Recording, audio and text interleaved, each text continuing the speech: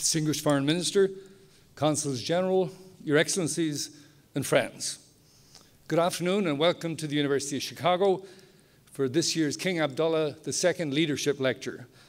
Uh, my name is Colm O'Muircheartaigh and I'm the Dean of the Harris School of Public Policy Studies here at the university. The King Abdullah Leadership Lecture brings to the university uh, current and former world leaders to share their insights and wisdom on world affairs and to bring us up to date on thinking in important and sometimes unstable parts of the world.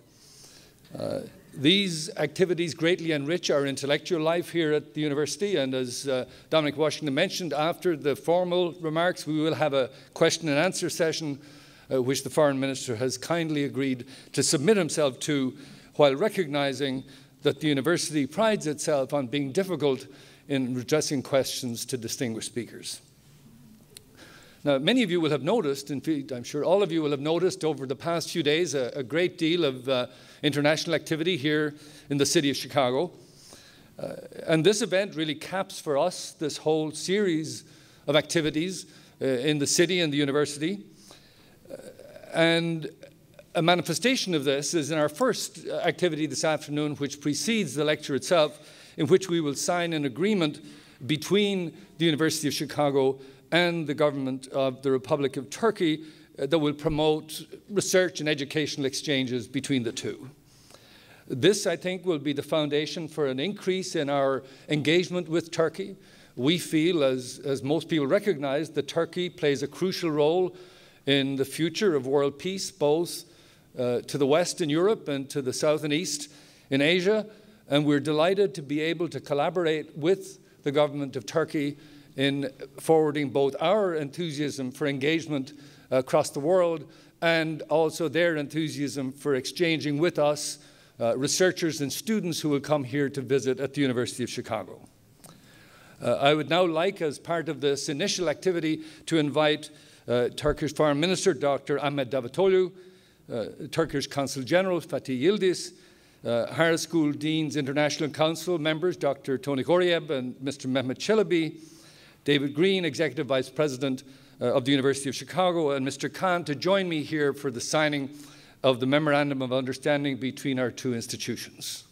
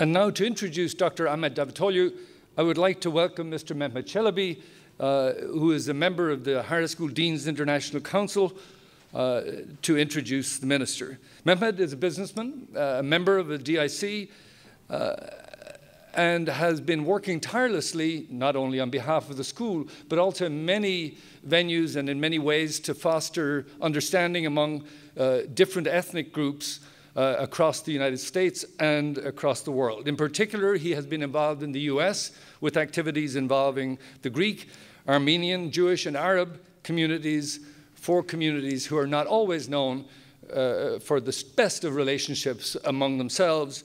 And one of Mehmet's efforts is involved in improving this situation insofar as possible. And he's recently been appointed a Goodwill Ambassador for the United Nations to the Yasuni ITT initiative in Amazonian Ecuador. We are grateful for Mehmet's work on behalf of the school, and I would now like to ask him to introduce our distinguished guest.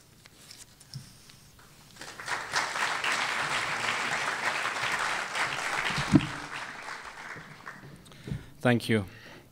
His Excellency Dr. Ahmet Davutoğlu, Foreign Minister of Turkey, Dean Colm Omurteg. I got it. He pronounced my Dean of the Harris School of Public Policy at the University of Chicago, distinguished guests, faculty, and students. Multilateral foreign policy, zero problems with neighbors, rhythmic dipl diplomacy, engagement or relations based on freedom and trust, new diplomatic approach, maximum cooperation, full integration. These are just a few foreign policy approaches our keynote speaker has introduced to not only Turkey, but dozens of countries in, in the territory spanning across emerging Europe, the Middle East, North Africa, and, and beyond. His Excellency Dr. Ahmet Davutoğlu, the academic turned diplomat and inspirational community leader, an influential thinker and a politician, has worked persistently to build Turkey into a regional powerhouse. Turkey's external outlook has been unmistakably the design of Dr. Ahmet Davutoğlu, known for a tireless work ethic which I have witnessed over the last several years.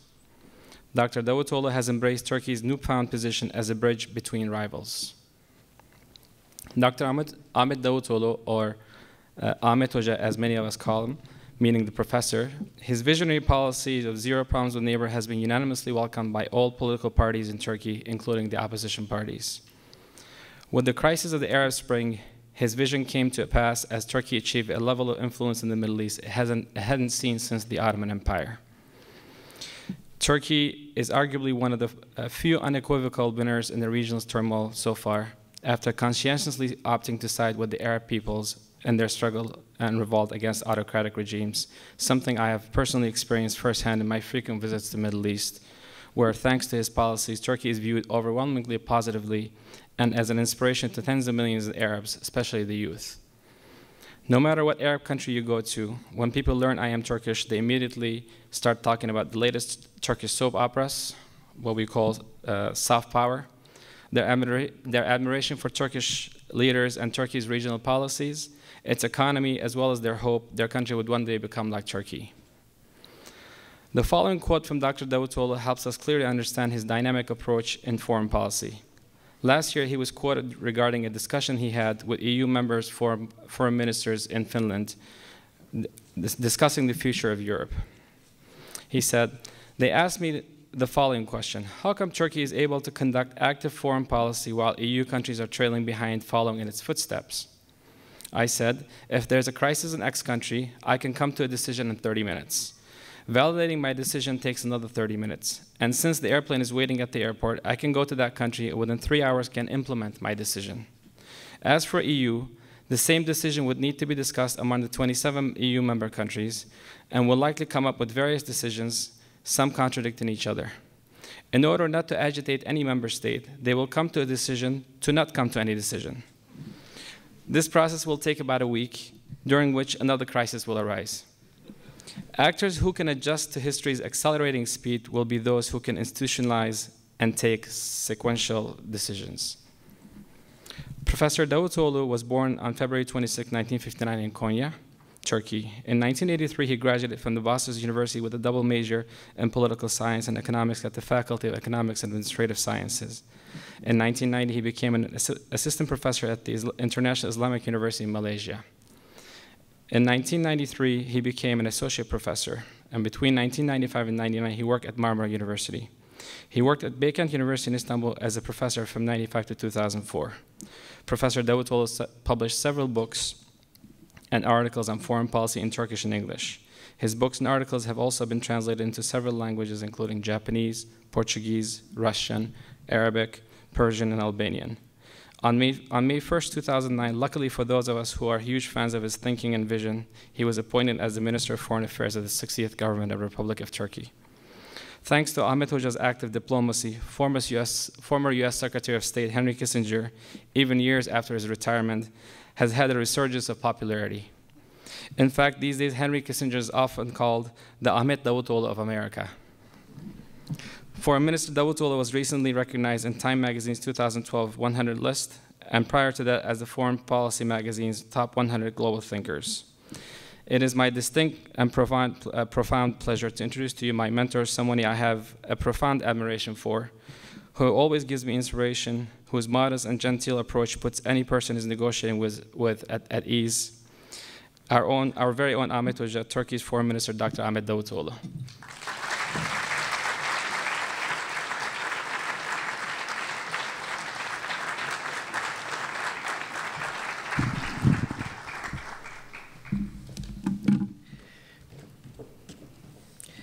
Thank you very much, my dear friend, Mehmet Bey. Dean, uh, dear Dean, Mr. Kolm, Omir Hartak, right? Dear members of Harris School, dear students, distinguished guests, ladies and gentlemen. First of all, let me thank to uh, University of Chicago and Harris School for inviting me to this uh, extraordinarily important event and to share my views with you Really, it is special for me for several reasons. To be here, to be in Chicago, as an academician and as a Minister of Foreign Affairs. First, being an academician to, be at, uh, to give a lecture uh, at University of Chicago is special because University of Chicago is well known with the academic success. As an academician, if I had chance, in the future I don't know whether I will be having a chance, I would prefer to be at this high esteemed uh, academic institute, to be part of this great legacy, which had 87 Nobel Prize winners, starting with Albert Michelson in 1907, high, uh, the discovery of uh, speed of light, from that time as the first Nobel Prize winner in American history, until today. Uh, Milton Friedman, Willard Libby, many of Nobel Prize winners from the, uh, this uh, academic institution. And of course, I should not forget President Obama, who was a senior lecturer at the uh, Faculty of Laws at uh, University of Chicago, and he is also one of the Nobel Prize, Peace Prize winners. I think the motto of this university speaks for itself. Crescat scientia vita excolatur. Let knowledge increase so that life might be enriched. This is, this is so important uh, motto for me because life and knowledge, knowledge and life, or theory and practice. I was prepared myself from primary school until 2002, always on the side of knowledge. I planned my wife, uh, my life, not my wife.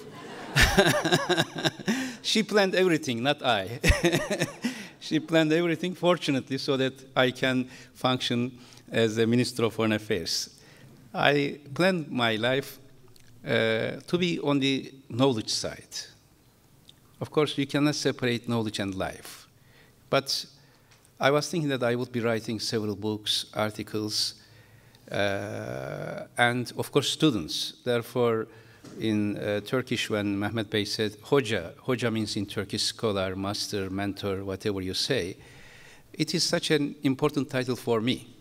It was interesting uh, when I became minister, before I became minister, when I was chief advisor of prime minister, since I was still between theory and practice, somewhere in between, not politician at that time, and between knowledge and life, everybody was calling me hoca means my professor, my mentor.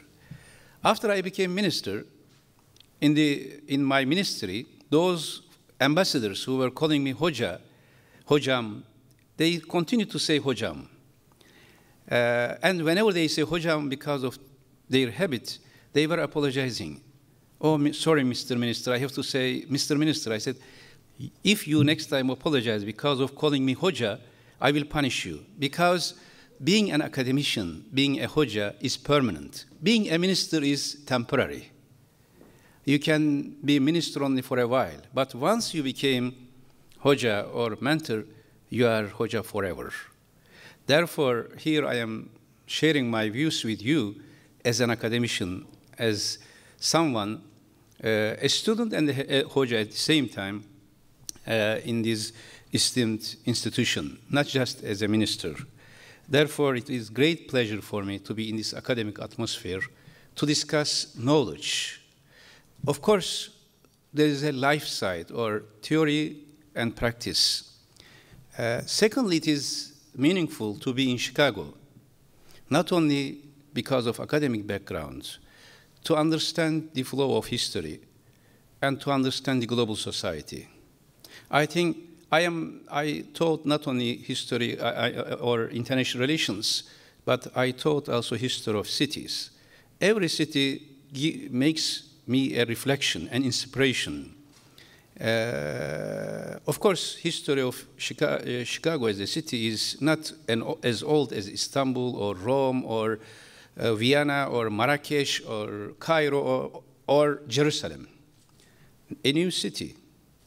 But in this new city, comparatively, a, a, tradition of global society is surviving. It is so interesting. In New York, of course, we know a huge, big, very big city, uh, United Nations is there.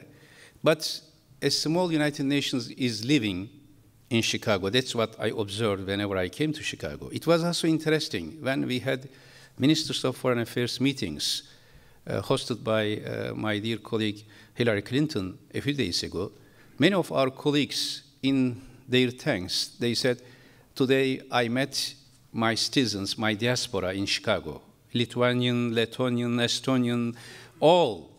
They said they had a diaspora in Chicago. It means there is a global society living in Chicago. It means those who want to understand global flow or global mechanism of uh, change, uh, they should understand the spirit of Chicago. And President Obama, uh, whom I always admire, uh, is, uh, I think, reflects in his foreign policy this multicultural character as well. It was interesting, maybe I will just share this, and that's important. Maybe I, maybe I will share in my theoretical analysis uh, that part. but this spirit of Chicago is important for coexistence, for living together, for the future of, the, of a much more inclusive global society. Now, when, we, when I talk on practic, uh, uh practice, let me, what, since I will be giving some details about Turkish foreign policy, let me share my last program uh, in last few days then you can understand Chicago as well as Turkish foreign policy. You may now think, what is the relation? Before coming here, I was in Greek Orthodox Church, where the bishop was, who, uh, was someone who migrated from Izmir to Chicago. From here, on the way to airport, I will be visiting Assyrian Orthodox Church again having origins from Anatolia. Yesterday, the day before yesterday, I met with uh, uh, representative of American Syrian community who tried to who wanted to discuss with me about the future of Syria. There is a Syrian. I was positively surprised seeing such a dynamic Syrian community living in. Uh, Chicago. Meanwhile, together with President Gül, my president, we met with the representatives of Muslim community. Some were from Palestine, some were from Morocco, some were from Indonesia, uh, Pakistan, India, a group of people from different corners of the world. And we met diaspora of Somalia. Somalia, leaders of Somalia. You know, again, I will refer to our foreign, in our foreign policy how we approach to certain issues, especially the uh, global consciousness of humanity today is in Somalia. And in our foreign policy, Somalia has a special place. Uh, no problem, you can. Don't hurry. no problem. Uh, so uh, you can uh, understand the uh, weakness or the challenges of global society regarding the issues like in Somalia. We met with Somalian leaders, And they told us that they see Turkey as their homeland because of recent Turkish foreign policy vis-à-vis Somalia. Uh, Prime Minister Erdogan visited Somalia with a delegation of 200 leading intellectual businessmen. And uh, now in Somalia, there is only one full-fledged functioning embassy. It is Turkish embassy. There is only one regular flight to Mogadishu after 20 years. It is Turkish Airlines from Istanbul to Mogadishu. And all Turkish NGOs are doing the, uh, working there. We restored many hospitals in Somalia. In last six, seven months, we spent around uh, 300 million US dollars reserved for Somalia and spent some of these. And they came and they said, since they don't have any embassy in uh, Washington, they see Turkish embassy as their embassy and they see our consul general as their consul general in Chicago. So you can see this range of uh, scope of the interest of Turkey, sometimes because of humanitarian aspects, sometimes because of our historical background. Of course, I forgot to say, I also got uh, uh, a, an award of Macedonian Friendship Award by Macedonian community led by President of Macedonia in the evening. I, uh, and I met with the uh, diaspora of Balkan countries, Macedonia, Albanian, Bosnia, Herzegovinian. So from Macedonia to Somalia, from Bosnia Herzegovina to uh, Far East, uh, everywhere, or Syria, there is a Turkish interest and Turkish vision.